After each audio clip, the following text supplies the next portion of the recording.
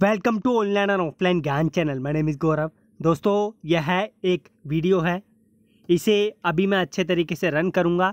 आप इस वीडियो को देखना, अपने विचार कमेंट बॉक्स में मेंशन करना और आप लोगों से आशा करता हूँ कि आप इस वीडियो को अपने उन दोस्तों के साथ शेयर करेंगे जिनका संबंध आईटीआई से है अप्रेंटिसशिप से है या फिर किसी टेक्निकल डिपार्टमेंट से है।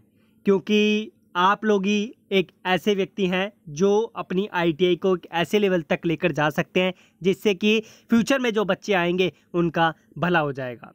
बहुत सारे स्टूडेंट्स आईटीआई के नाम से अब डरने लगे हैं, हमें तो आईटीआई नहीं करनी, क्योंकि इसमें जो हमें बेनिफिट्स नहीं मिल रहे। अब हाल ही में आप देख सकते हैं, जब से लॉकडाउन लगा है, उसके बाद जो मीटिंग हुई एआईआरएफ की आईटीआई में एकदम से बूस्ट आ गया। मैक्सिमम बच्चे सोचने लगे कि, सर, हम आईटीआई करेंगे।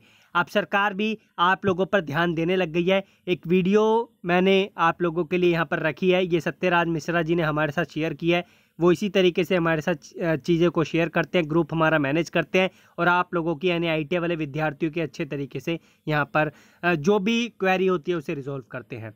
मैं आप लोगों से एक और रिक्वेस्ट करूँगा कि ट्विटर पर आप लोग अप्रेंटिसशिप वालों को हैशटैग अप्रेंटिसशिप वालों को पक्का करें। ये आप मेंशन करेंगे तो आप लोगों को यहाँ पर जो है बेनिफिट होगा। ये मोदी जी ने भी अप्रेंटिसशिप के लिए एक बहुत अच्छी बात कही है। देखो भाई, मैं जानता हूँ नेता लोग जो है वोटिंग के लिए सब कुछ करते हैं, लेकिन वोटिंग के लिए एक आईटी एक बहुत छोटे लेवल की चीज़ है। वोटिंग में आई वाले बच्चों को इंक्लूड कर रहे हैं। इट मीन्स कि आईटीआई बहुत अच्छे लेवल पे जाने वाला है। ये सही बात है कि हमारे देश में अप्रेंटिसशिप वालों की संख्या बहुत कम है, अगर हम दूसरे देशों से कंपेयर करें तो। लेकिन मैं सरकार से यह बात बोलना चाहूँगा कि दूसरे देशों में अप्रेंटिसशिप वालों को बहुत अच्छे बेनिफिट दिए जाते हैं। हमारे देश में अप्रेंटिसशिप वालों को वो बेनिफिट नहीं दिए जाते। इस वजह से बच्चे जो है अप्रेंटिसशिप के पीछे नहीं भागते।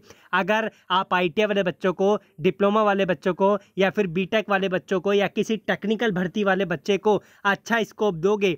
आप अप्रेंटिसशिप के माध्यम से उनको जॉब दोगे, आगे श्योरिटी दोगे, हम जी आप लोगों को बेनिफिट देंगे तो बच्चा क्यों नहीं अप्रेंटिसशिप करेगा? अप्रेंटिसशिप आपको, आप खुद जाके देखिए मोदी जी या फिर कोई आपका कोई सहकर्मी है, आपके साथ का उसे भेजिए कि अप्रेंटिसशिप वाले बच्चों के किसी किसी डिपार्टमेंट में क्या हाल चल रहे हैं। मैं आपका समर्थन करता हूँ कि आपने जो अपने इस ये जो आपकी सभा है, ये पुरानी सभा है, नई सभा है, मुझे नहीं पता। मेरे सामने वीडियो आई, मैं चाहता हूँ कि आप लोगों को इसको जो है अपने दोस्तों के साथ शेयर करना चाहिए और ख़ुद भी इसे जो है देखना चाहिए। इसलिए मैंने ये वीडियो आपके साथ शेयर की है। बाकी इस वीडियो को आप देखें, मैं रन करने वाला हूँ, कोई समस्या हो कमेंट बॉक्स में मेंशन करना बीच बीच में कोशिश करूँगा स्टॉप करके आप लोगों को चीज़ें समझा सकूँ।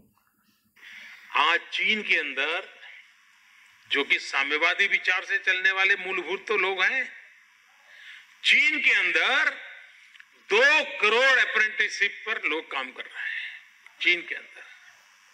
जापान में एक तो यहाँ पर चीन की बात की गई है। इट मीन्स कि ये वीडियो थोड़ी पुरानी है जहाँ तक मुझे लग रहा है क्योंकि इस बार जो है अगर लॉकडाउन के पीरियड में ये बात कही जाती तो चीन का नाम भी नहीं लिया जाता। अब हम पूरी वीडियो देखते हैं।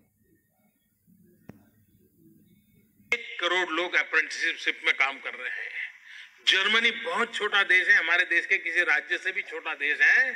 वहाँ पर 30 लाख लोग अप्रेंटिस के रूप में काम कर रहे हैं, लेकिन मुझे आज दुख के साथ कहना चाहिए, सवा सौ करोड़ का हिंदुस्तान सिर्फ़ तीन लाख लोग अप्रेंटिसशिप पर काम कर रहे हैं। मेरे नौजवानों का क्या होगा, मैं पूछना चाहता हूँ। मैं सभी श्रमिक संगठनों से पूछना चाहता हूँ, क्या इन नौजवानों को रोज़गार मिलना चाहिए कि नहीं मिलना चाहिए? इन देख सकते हैं आप लोग किस तरीके से अप्रेंटिसशिप वाले बच्चों को यहाँ पर फोर्स किया जा रहा है कि उनको जो है कुछ ना कुछ बेनिफिट मिलेगा या फिर जो आई वाले बच्चे हैं, वो आईटीआई स्किल इंडिया यही आप समझे कि उनको भी फोर्स किया जा रहा है, वो अप्रेंटिसशिप में भाग लें। लेकिन मैं दोबारा से अनुरोध करना चाहूँगा, अब आप अप्रेंटिसशिप के लिए इतना फोर्स कर रहे हैं तो बच्चों को रोज़गार भी आपके माध्यम से मिलना चाहिए। आगे बढ़ते हैं। नौजवानों के लिए अवसर खुलने चाहिए नहीं खुलने चाहिए? और भारत को आगे बढ़ाना है तो हमारे स्किल को काम में लाने के लिए ये हमें अवसर देना पड़ेगा। सरकारों ने, उद्योगकारों ने भी सोचना होगा। इसलिए कि कानून के दायरे में फंस जाएँगे, इसलिए कोई अप्रेंटिसशिप किसी को देनी नहीं, किसी नौजवान को अवसर नहीं देना। ये उद्योगकार जो दरवाजे बंद करके बैठे हैं, मैं नहीं मानता हूँ, ये लंब... आप यकीन नहीं करोगे, बहुत सारे विभाग ऐसे हैं जो बच्चों को अप्रेंटिसशिप में नहीं हायर करते, क्योंकि अप्रेंटिसशिप में आप यकीन नहीं करोगे, जो डिपार्टमेंट होते हैं ना इनको लॉस होता है थोड़ा बहुत लेकिन इनका टैक्स बचता है। अब ये बेकार के झमेले में नहीं पढ़ना चाहते, इस वजह से बच्चों को अप्रेंटिसशिप नहीं देना चाहते।